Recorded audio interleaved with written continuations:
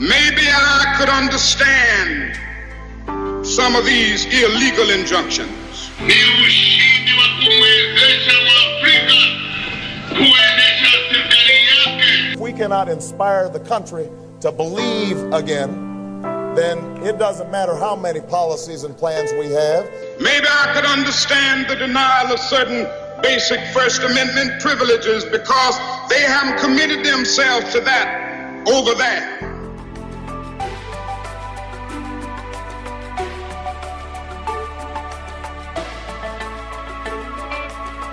Time that we define our policies.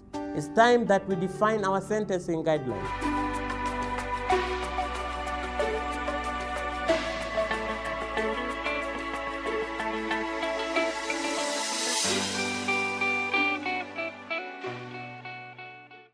The total is out of 100%. The first quality we are looking at is that unique idea. It's out of 40%. Your confidence, the way you stand, the way you present yourself, that amounts to 20%.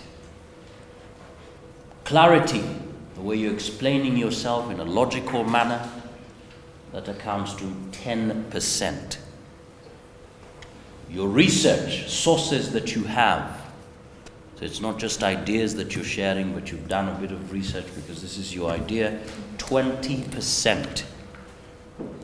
Time utilization, you've used five minutes very well, adequately, that amounts to 10%. Is that clear? Okay. So thank you so much indeed. Um, thank you, ladies and gentlemen, for giving me this opportunity. A little field mouse was lost in a dense wood, unable to find his way out. He came upon a wise old owl sitting in a tree. Please help me, wise old owl. How do I get out of this wood? he asked.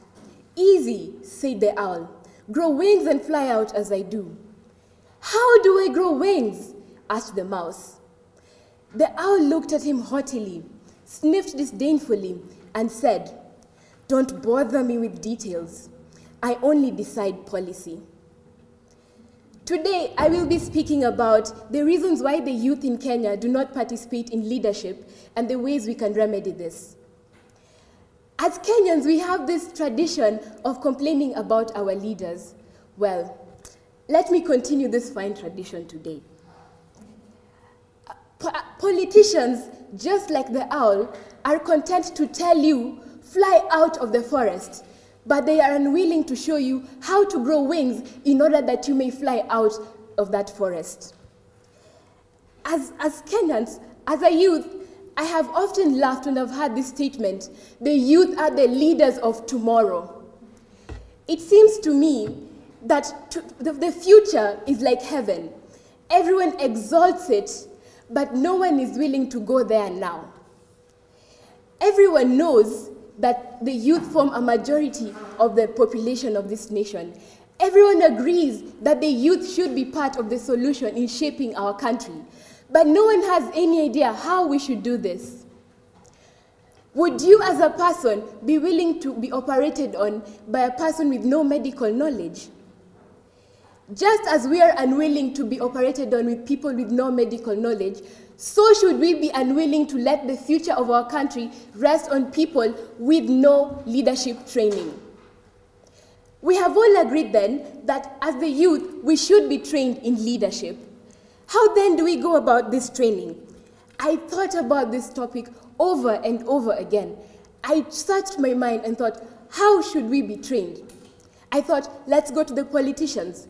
Then I remembered a quote by Nikita Khrushchev Politicians are all the same. They will promise to build you a bridge even where there is no, reason, where there is no river.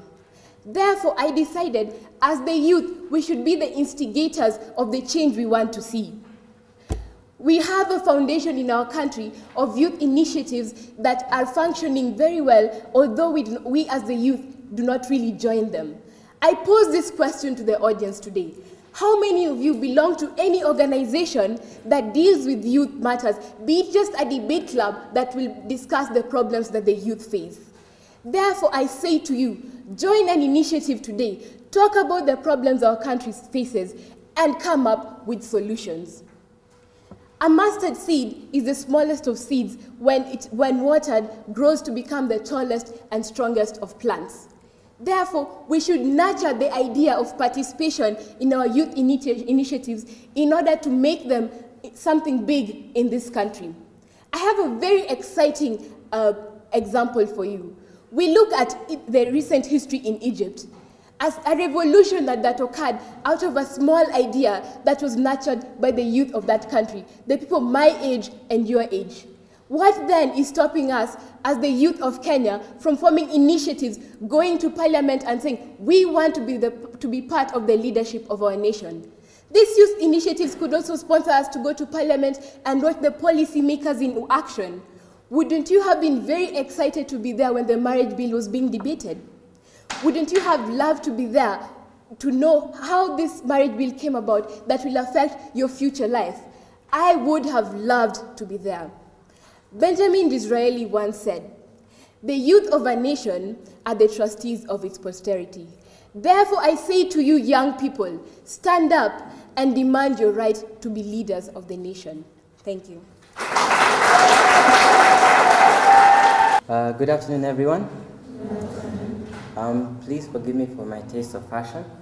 I'm still working on it, but hopefully that uh, my speech will be better than my choice of green and gray. um, yeah, so my name is Shaman PC, and today my topic is about death in Africa due to preventable and curable diseases. Um, two statistics, both from the World Health Organization. In 2008, 4.1 million children under the, end, under the age of five died from preventable diseases. In 2002, 564,300 people in Africa died because of preventable diseases. This is not, these are not diseases, for example, um, HIV or, or cancer. These are preventable diseases that people are dying from every day in Africa. And I would like to talk about the, the, three, the three main reasons why people die from these diseases and, the, and solutions. The, the, the, the three, oh, sorry, the three um, main reasons is ignorance of health and hygienic lifestyles, the limited access to health facilities, and poverty. Let me start with uh, ignorance of health and lifestyles. Ignorance of basic health and health principles lead to people dying from preventable diseases. This uh, can occur when people uh, use water from the river to both to bath and to and to drink. These um, and they do this while not knowing that the water is tainted with disease. Poor sanitation, such as not washing hands before, they, uh, before you eat, can also cause people to die from preventable diseases. And I believe that this is one of uh, one uh, major reason concerning why people die from, from, preventable diseases. The second reason is to is the limited uh, resources of health facilities. A limited number of health facilities also contribute to people dying from uh, preventable diseases. In many cases, people cannot go to attain these um, or people who attain preventable diseases are not able to get the appropriate health services and uh, health services they need. For example, the only hospital in a certain rural area might be 30 or 40 kilometers away. So the time it takes to get there and, uh, and considering maybe the few number of medical um, personnel who are there, it leads to many people dying from these uh, medical, from these preventable diseases. And um, a few facts. Um, in Kenya in 2011, there was 0.2 physicians per 1,000 people. In Vietnam, there was 1.2 physicians to 1,000 people. Now, as you can see, we, ha- we need more personnel in Kenya to be contributing to the health of our people. And uh, finally is poverty. Now, poverty is one of the main contributors to people dying from, from preventable diseases. People just can't afford, uh, sorry, can't afford health care. For instance, uh, in town, as I was walking, I, I saw someone, uh, a man sitting on the ground begging with a huge growth on his stomach. And instead of being in a hospital to be treated for maybe what was cancer, he was reduced to sitting and begging for money. A great majority of people in Africa cannot um, attain health care just because they can't afford it. And this should not be the case. And so I'll quickly move on to the solutions. Um, concerning um, ignorance of basic hygiene and health principles, I would propose that um, children, children in um, schools are taught health, health principles so that when they go back to their parents who many did not attend primary school, they'll be taught about these. Um, another, uh, another solution could be maybe having small conferences where women come together or women, I mean, mothers come together and learn about these so that when they go back to their families and to their communities, they're able to spread this information around. For the limited uh, number of health services, I believe that the government should, should give incentives for private, private hospitals to be placed in rural areas, such as maybe lower tax and subsidized um, or subsidizations, which can really help um, make it affordable to have many more, um, many more uh, uh, healthcare facilities. And the final one, for uh, concerning poverty, would be an affordable medical insurance. In Rwanda, uh, they have been able to reduce the average health spending by half um, for the common person. And so these are my, are my main three solutions to battling preventable diseases in Africa. Thank you. ladies and gentlemen.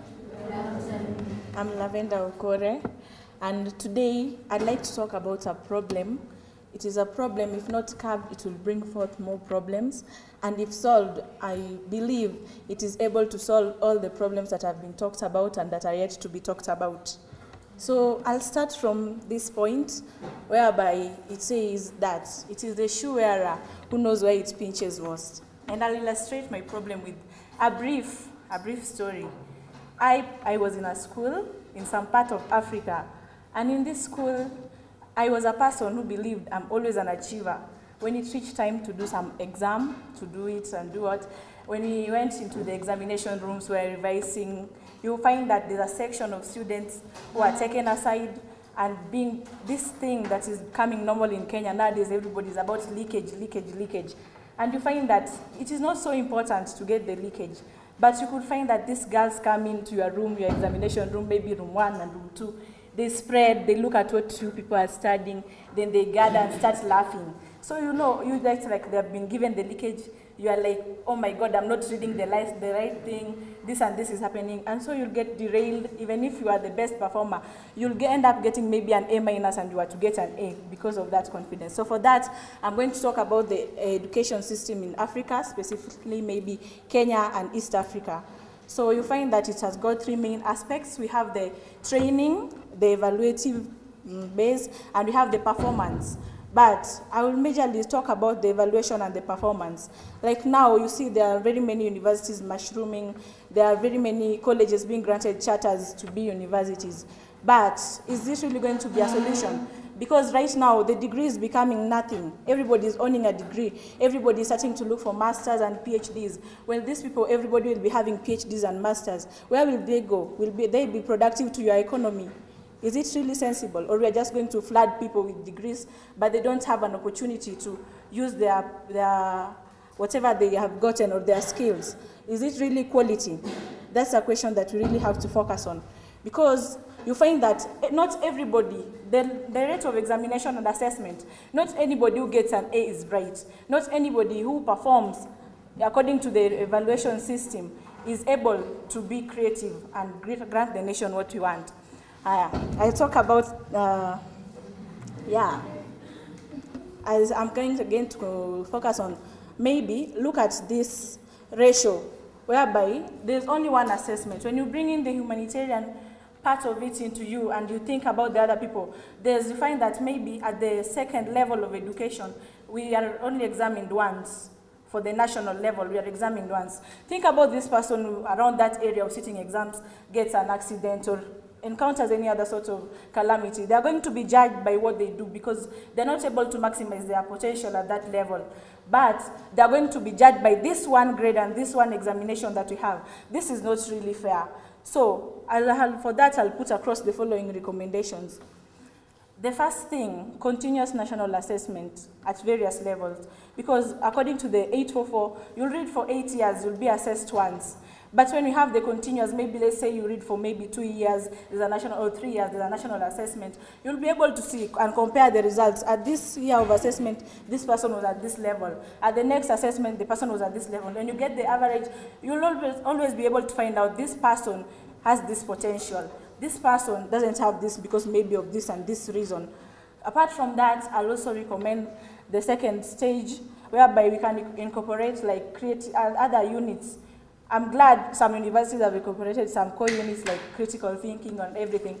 But if you put this in the second level and the first level of education, whereby they'll be able to understand the logicalness of something in its whole, why I need to learn and understand the skills, the relevance of learning, and not being obsessed with grades and grades alone, will be able to have people who come into the university with ideas, who come into the university with a goal that they know they want to achieve in life, and are able to transform the country to the next level, and are able to be productive, more productive, and change the system and the status quo of grades and grades alone in our country today. Thank you.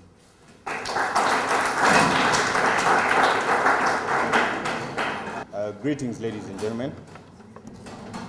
Um, I was having a small talk uh, the other day with a lady friend of mine who works at the FIDA. And this talk kind of digressed to a sensitive issue that is dealt with in our country now and the world over. I'm sure most of you can relate to this, especially the boys. When you were young, when you touched a doll, when you cried, you were told you're becoming a sissy. When you showed emotions, you were told that's weakness. That is for girls. What were they telling us? Were they trying to tell us that weakness is synonymous to being female? Is that right? I asked myself that question. Then along the way, as I grew up, I got to learn of two words, affirmative action. It came in Kenya and it escalated so fast, it culminated into the girl child having the upper hand. Look at this room now. Look at the population of Strathmore. Strathmore has 62% of its students who are female. UNICEF puts the population of the youth in Kenya at 75%. 61% of these above 18 to 34 are female. So much research has been done, extensive research, oratory and written, that focuses on the girl child. So many opportunities have been created for the girl child. Now more than ever, the tune changed. Before we used to say, what a man can do, a woman can do. Now ask any small girl what a man can do, they'll tell you very confidently, a woman can do better. Which made me ask the question, if all these resources, if all this time, if all this energy and all this intellect is focused on the girl child, who is fighting for the boy child? Haven't we just flipped a coin?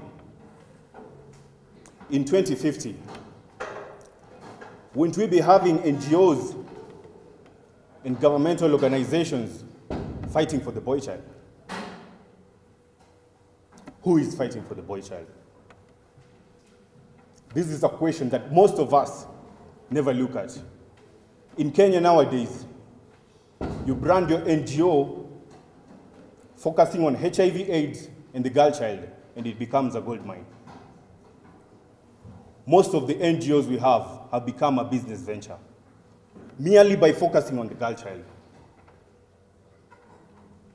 Open an NGO and focus on the boy child and tell me how long you'll last. Tell me how many donors will even look at your papers.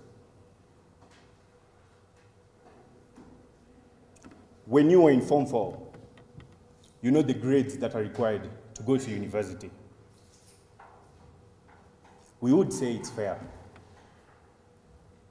And we would say, in the spirit of equality, everybody deserves a fair chance. But if you put the girls' grades lower than the boys to give them a fair chance, aren't you saying they're weaker? So you give them an advantage over the others. I believe each one of us, regardless of our gender, is born with innate capabilities. Boy or girl, man or woman, you have your innate capabilities that you're able to achieve given the right opportunities. You don't have to be a man, you don't have to be a woman to be a CEO.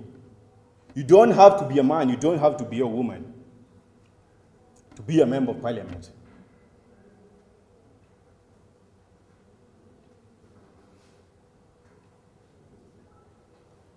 In the words of Martin Luther King Jr.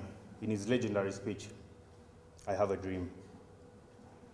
He says, I have a dream that one day my four little children shall one day sit in a land where they will not be judged by the color of their skin, but by the content of their character. I have a dream today. I have a dream that one day, when all of you will be lucky to have children, boys and girls, they will not be judged by their gender. That your boy child in the future will not be fighting for rights because everything, because everything we did now focused on the girl child. Thank you.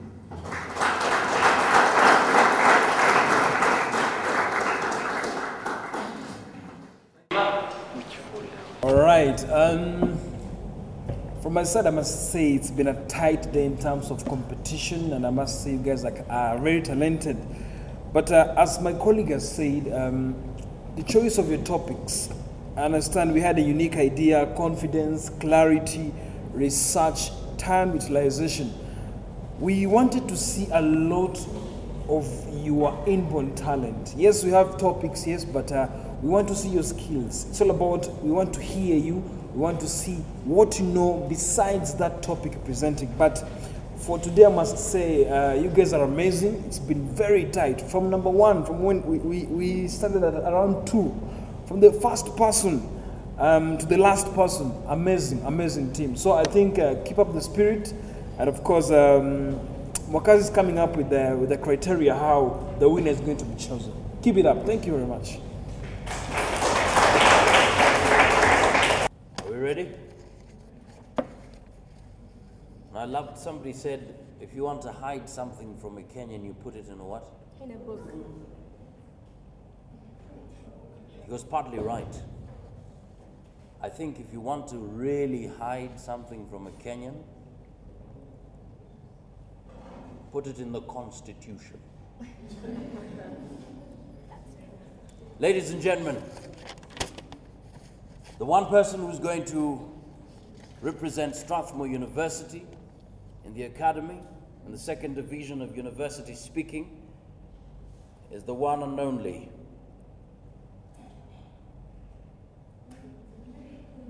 Sharil Rasool.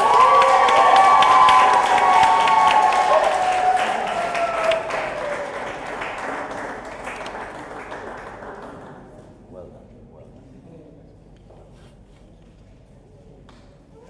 So a round of applause for them.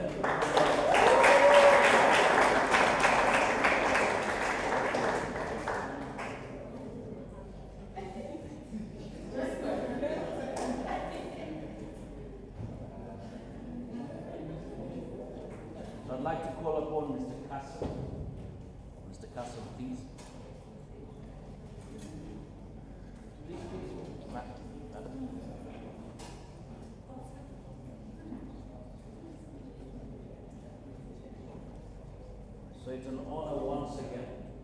Thank you so much for being here up to this particular time, 10 minutes past 8.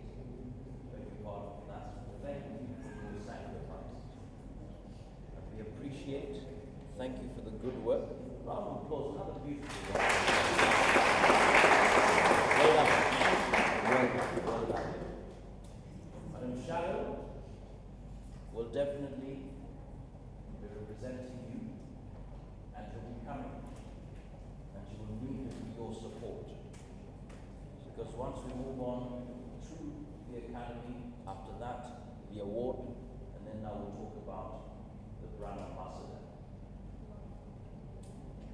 It's now up to you to support her to become the brand ambassador of solution-based conversation that will change the political scene in this country, the economic sphere as well, in so many ways.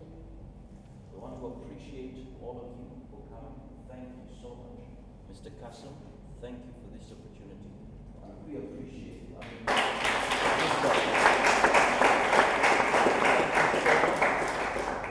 of course, the Maybe I could understand some of these illegal injunctions. Ni ushindi wa kumwezesha Mwafrika kuendesha serikali yake. If we cannot inspire the country to believe again, then it doesn't matter how many policies and plans we have. Maybe I could understand the denial of certain basic First Amendment privileges because they haven't committed themselves to that over there.